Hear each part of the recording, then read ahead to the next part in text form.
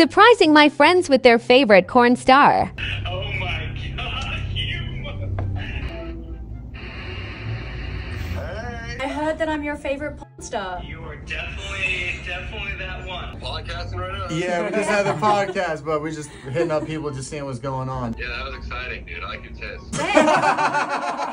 Look to me tonight. Well, I You got your hand on the cheekbone, all in love over there, dude. The feet kicked up and everything. I'm Mormon and I didn't really watch porn. What do you watch now? I just watched the Bible. Gotta FaceTime my dad. Hi, Daddy. What are we looking at? Well, that was the side of your face? I didn't know it was live. I had this up to my head. You're not my daughter. You're not my son or my daughter. You could still be my daddy. I could be, yes. I might have to get permission. You know her work? I do not. You have homework. I'm uh, on my computer, so I'm going to do some homework right now. Angela White.